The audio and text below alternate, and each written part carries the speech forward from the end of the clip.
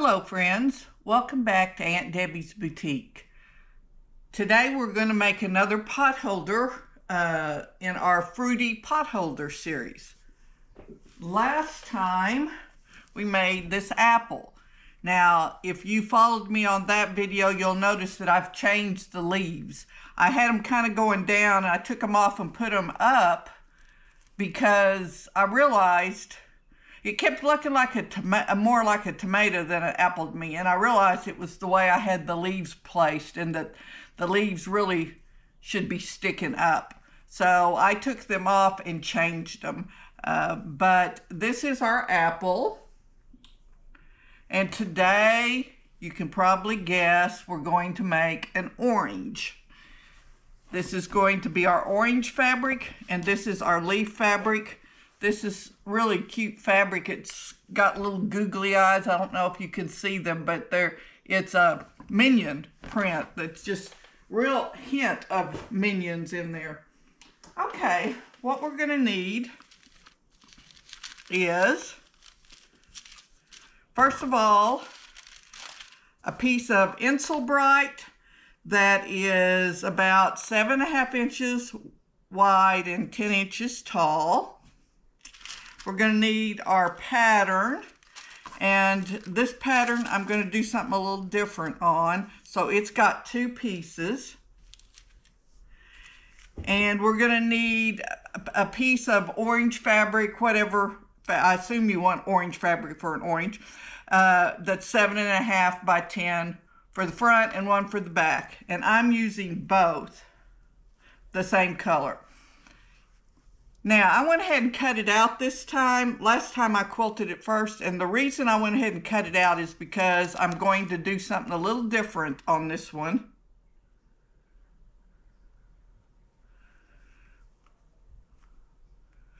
I didn't want just a big old round circle. I just didn't think that looked right. So, you know what? I need to cut out my Insul-Bright the same size too because I'll never be able to get the front and the back lined up if I don't do that.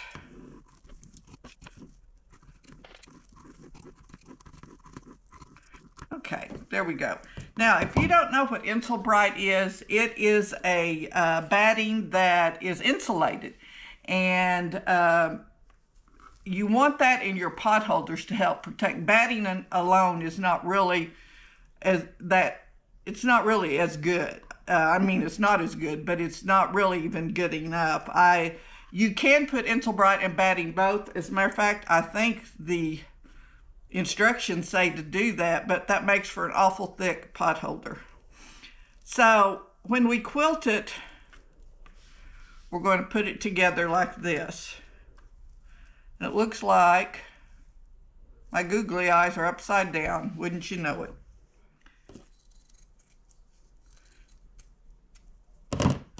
Now I have just ordered a bolt of um, Pellon's version of Insul-Bright. Pellon always makes good products, so I'm hoping that it will be as good. Uh, it was pretty uh, much more economical than to by Insul-Bright one yard at a time. So there are other brands of this out there. Okay. We are going to quilt this up and then I'll show you what we do next. We're just going to give it a little character. But the first thing we want to do is our leaf.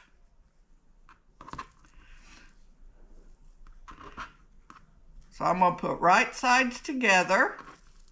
I'm going to put a piece of Insul-Bright on the back of that.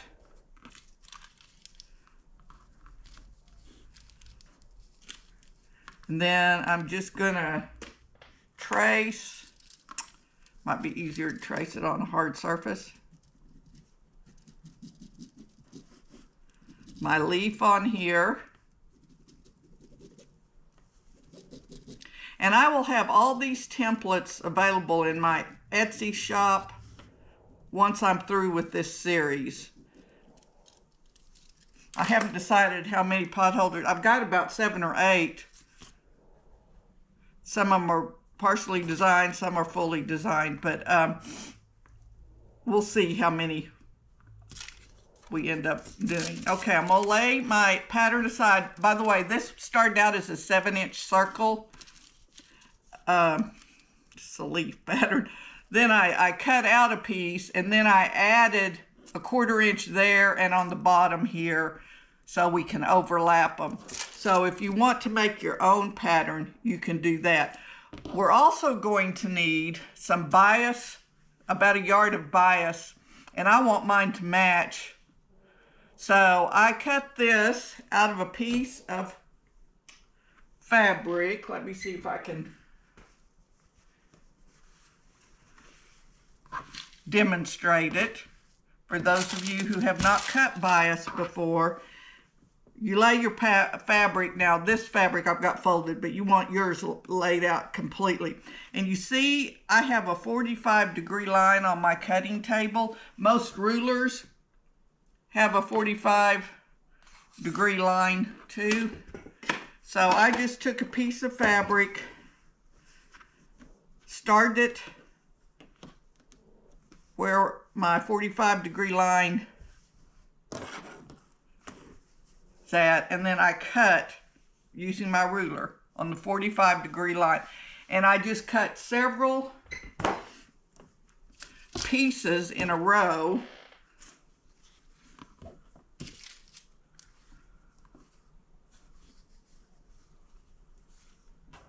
you can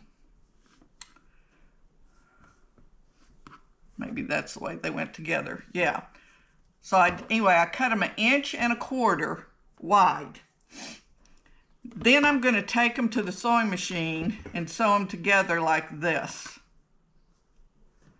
And I haven't done that yet because I don't have orange thread on my machine at the moment. I have green thread, so we could do the leaves first. So I will do that when I switch over the uh, thread. Okay, back to our leaf. No, not back to our leaf yet. I'm a little disorganized here. Um, we need also a five inch by one inch piece of the green for our stem that's also going to hang our pot holder up. So we need this too. The first thing I want to do I'm going to move all my pattern pieces aside so I don't lose them, so I can make up my templates.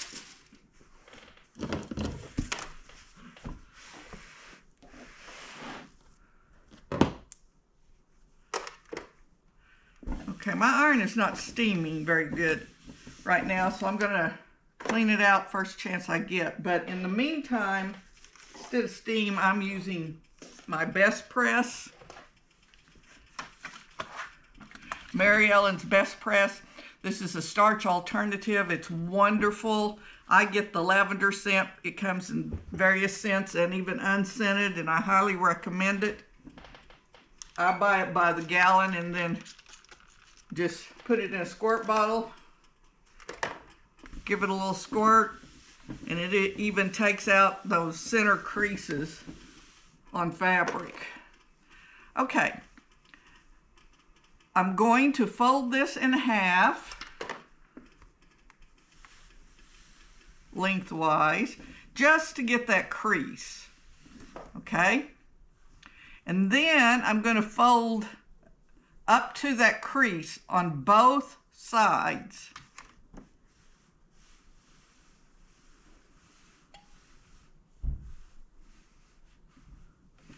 Essentially, I'm, I'm ironing under a quarter of inch on both sides.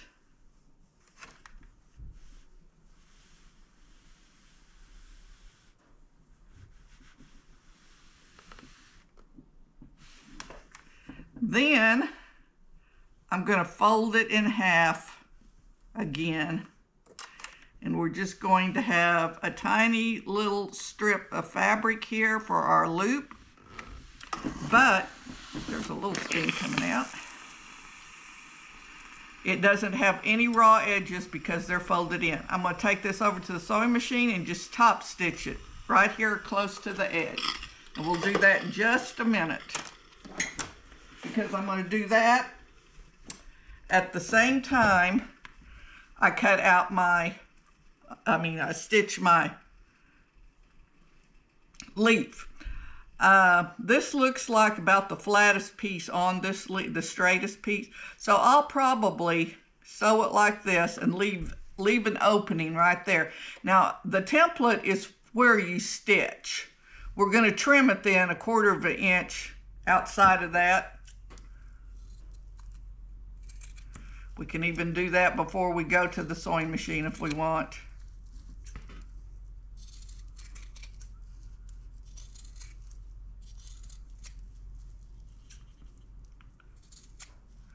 Oh, don't have quite a quarter of an inch there, but it'll be okay. I don't need any of that extra batting. Okay, so I'm going to take it over, leave me a little gap to turn it, and just stitch around there, and I'm going to stitch my loop. So let's go do that.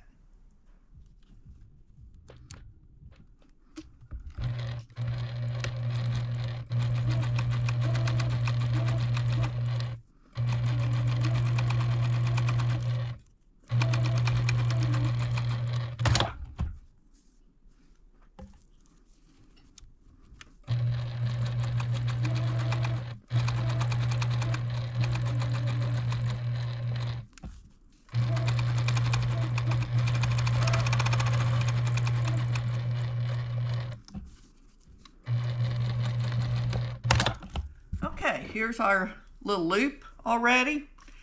And I hope I left a big enough hole to turn this. One thing I didn't mention is i am using a piece of Insul-Bright in this, but batting is fine because you're not going to be picking uh, any hot food up with the leaf part of it. So, or hot dishes. I'm going to trim it up just a little bit more.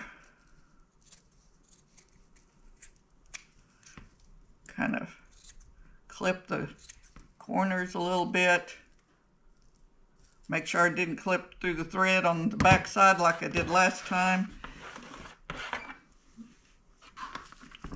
Now let's see if I left a big enough hole to turn this with or if I need to open it back up.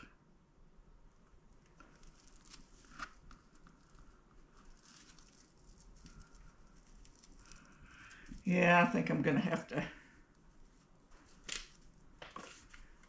find a seam ripper here and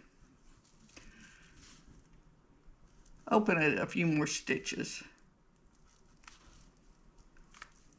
Okay, that should be plenty.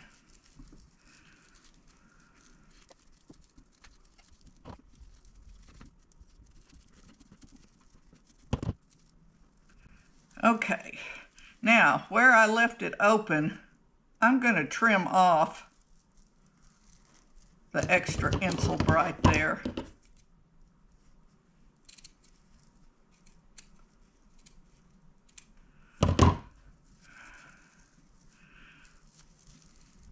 And then I'm just going to fold all this in and try to make it look as round and smooth as possible and give it a good iron. And then we will quilt it with some decorative stitches.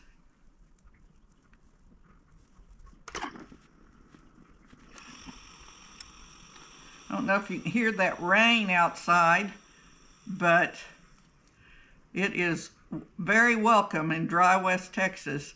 So my lighting is not as good today because it's a little overcast, but I'll gladly give that up to have some rain.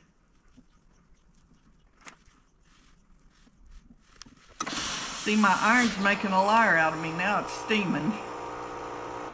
That's a good thing.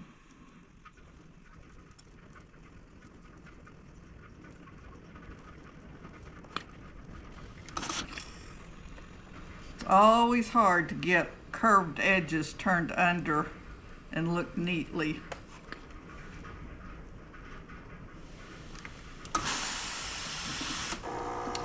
That looks pretty good though. Okay, I'm going to take this back over the sewing machine and I am going to stitch around the edge to top stitch it just to make sure that this edge gets caught and sewn under. And then which end is the pointy end? I think this is supposed to be the pointy end there I may have to pin this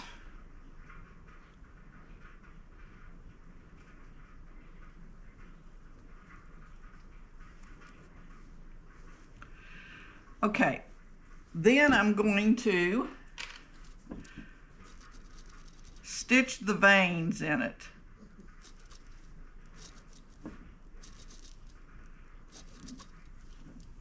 Something like that. And that will quilt it and make it look more like a leaf. So let's go do that.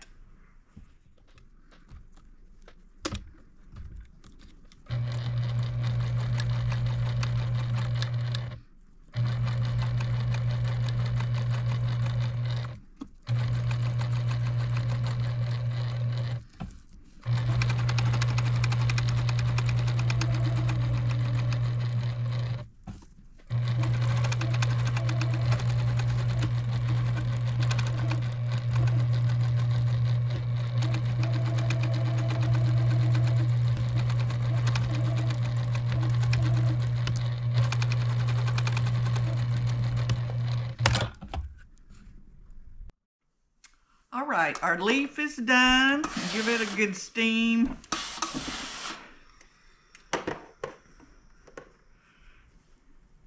See if you can see the veins that were quilted in there. Uh, I changed my machine thread to orange and sewed my bias strip together. And now we're ready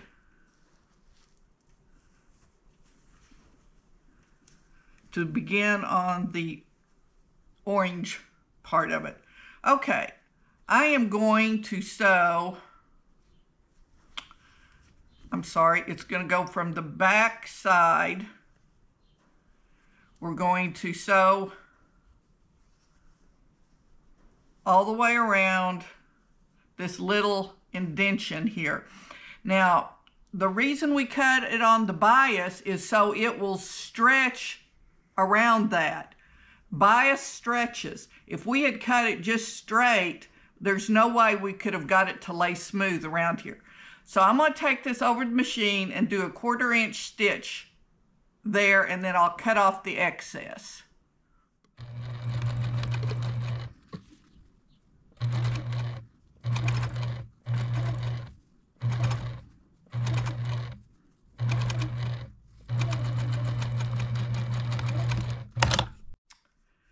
All right, I'm gonna come to this side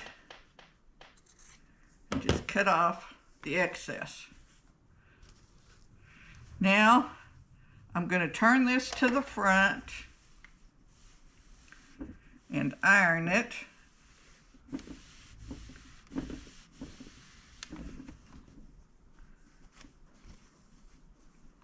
Then I'm going to iron under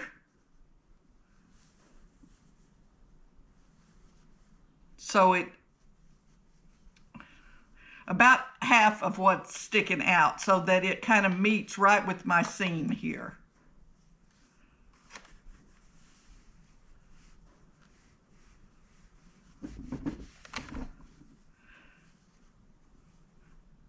And this is a pretty sharp curve. But it's gonna it's gonna lay fine. Okay. Then I'm going to turn it over again, right at the seam.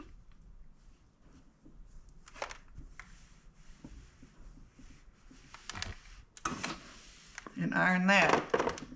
And do you see how nice and smoothly that lays? I will cut off the excess here.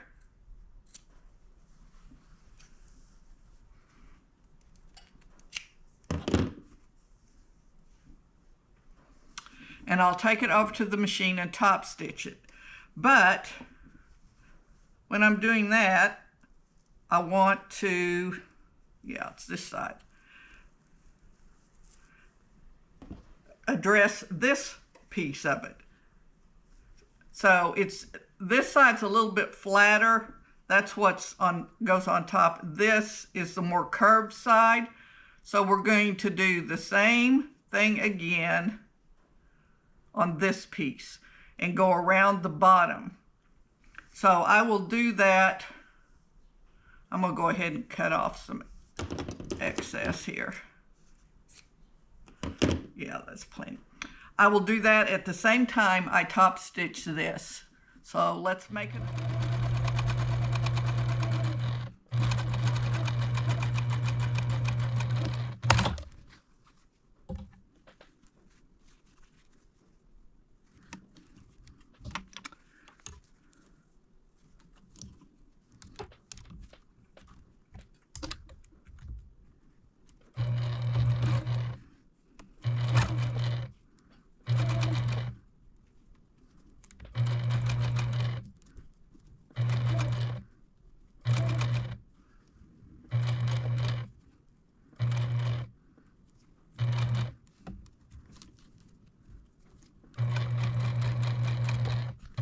Let's steam this real good. See how nice and flat that lays? If we had done a straight piece, it would have been all bunched up. Now I'm going to do the same.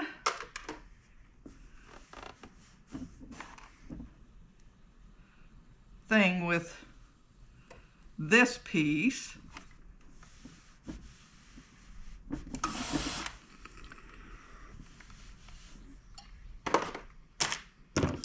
lot of extra here. It's just going to get in the way. And I'm going to turn it halfway in and then let it lay right on top of our first seam.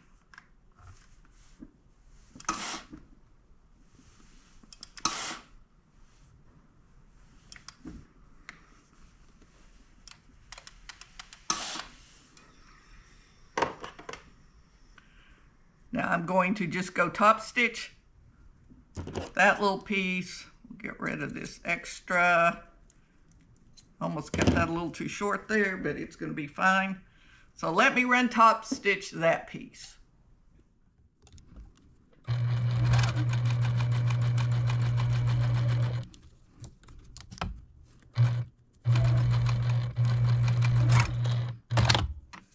Okay, let's steam that. Now, you're probably wondering why we did all that. And it's because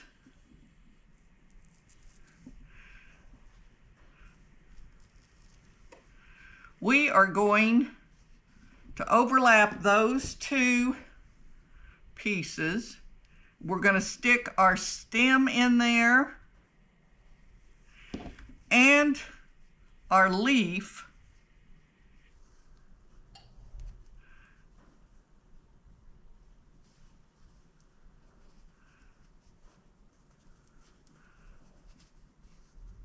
Actually, I think I'll wait and, and just top stitch the leaf on like we did before because we we want it, well, that's not very even. I'm literally just laying the bias on top of itself there with the stem in the middle. And it's even sticking out a little bit there so we have enough, but that won't show once it's quilted. It's all going to be wrapped up inside the quilting.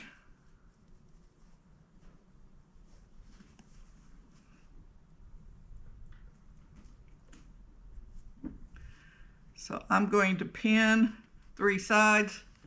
Now this makes it a little bit thick right there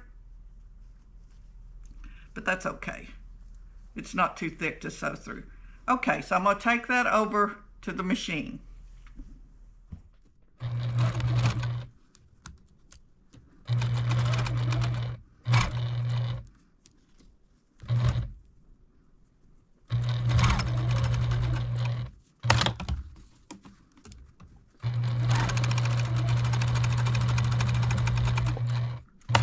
Okay, I made a mistake.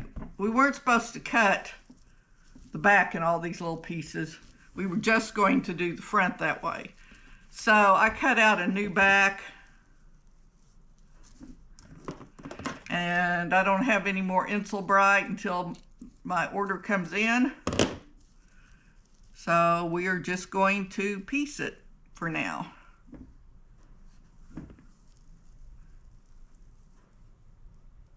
Think I'll run this over to the machine and kind of stitch it together real gently. Okay, I apologize for that. I had this all planned out in my head and I knew I didn't want to cut the back out and for some reason I forgot when I got over here. Okay. Me. Let's put our pot holder together. And the reason I cut that out that way is so so it wasn't just an orange circle. So we it's like we're looking at this not straight on, but kind of from the top. I just wanted it to have a little more dimension than just a plain orange circle. So I am going to, before I pin it all, I'm going to use some 505 temporary adhesive.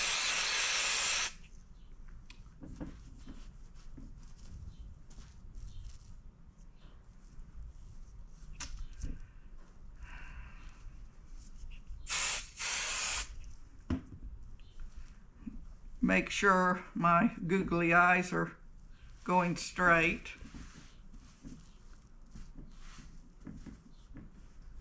Okay, now I'm going to put a couple pins in it just to hold it. And I'm going to take it over the machine, and this time I'm going to quilt it with the pattern. I love to find pattern fabrics that I can follow for the quilting. So I'm going to go down all these lines and these lines and quilt it. So join me at the sewing machine.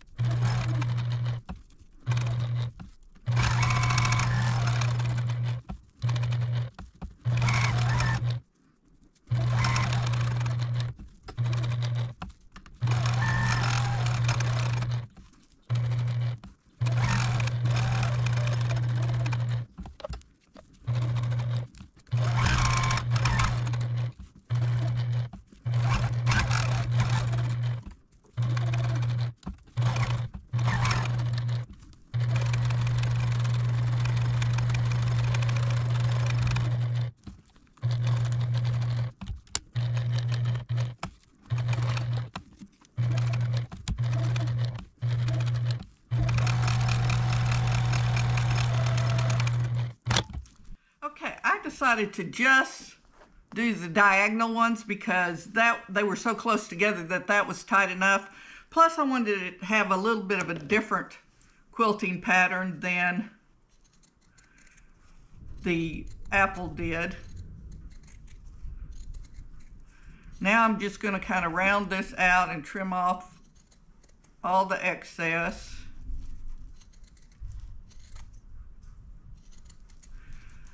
And we're going to put our binding on it and tack down our leaf.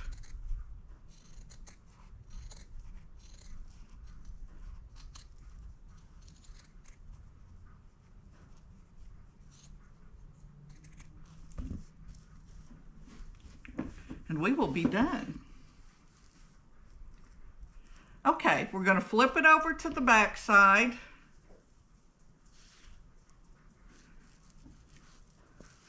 And I'm going to start up here.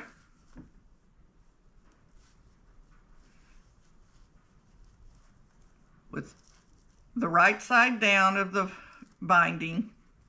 And I'm going to stitch it all the way around. let me think, how do I want to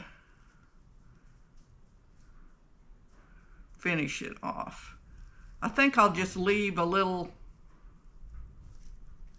I think I'll start about here and then I'll connect it when I get all the way around. Okay, let's go do that.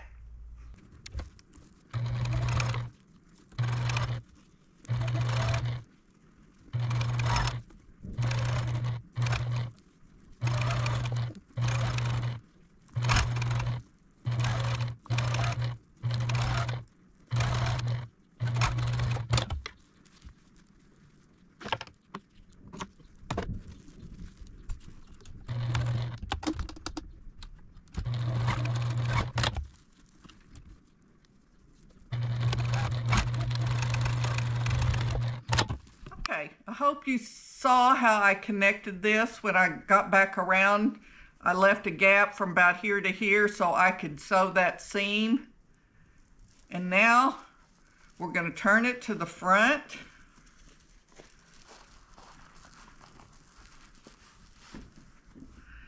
And we're going to fold under so the raw edges meet and then fold on top of our seam. We're going to do that all the way around. It's going to kind of take care of itself because it's round like this and it just naturally pulls in.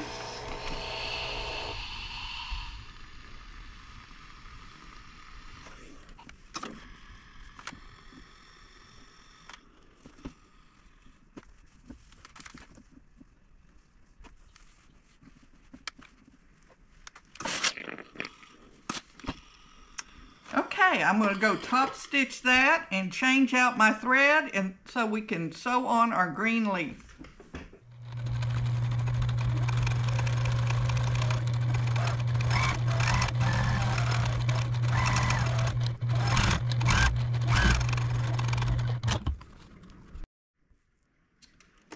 Okay, one more steam. And I should probably tell you that I didn't necessarily make this pot holder relative to this one as far as size, although apples and oranges are pretty close to the same size. I'm, I'm making each piece of fruit big enough that it can be used as a pot holder. So if they're a little bit different from fruit to fruit, that's why. Okay.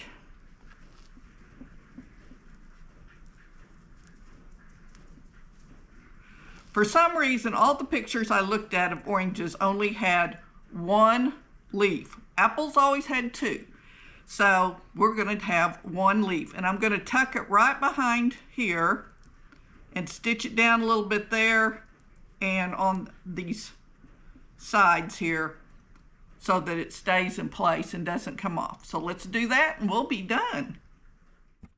I have green thread in the top and I left my orange bobbin so it, uh, so it won't show on the back.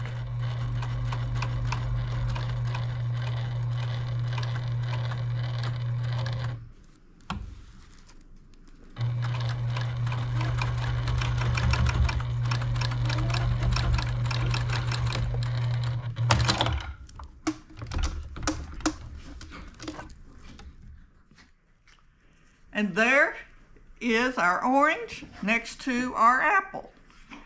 And these are both nice size and thickness of pot holders with the Insul-Bright that will protect your hand. So they're very usable. Uh, I think next time we'll do a banana, or actually a set of bananas uh, that make up one pot holder. So it's big enough. And uh, I am working in the background on a log cabin quilt. Here's the yummy fabrics we're using. It's going to be for a little girl, a twin size quilt. So once I get that all, that video all done, I'll post it. But in the meantime, we're going to work on potholders. So thank you for joining me and I hope you enjoyed it. If so, please give it a thumbs up, and uh, I'd appreciate it if you'd subscribe if you haven't already. And I will see you next time. Remember, whatever you do, do it to the glory of the Lord.